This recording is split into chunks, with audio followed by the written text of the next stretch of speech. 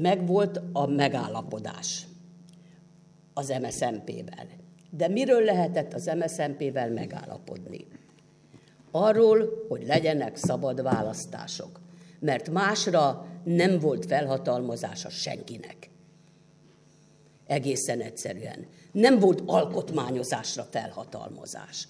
Arra volt felhatalmazás, hogy teremtsük meg a szabad választás feltételeit, aztán a szabad választáson döntsön a nép, aztán utána majd meglátjuk, hogy mi lesz. Attól függően, hogy mit csinál a nép.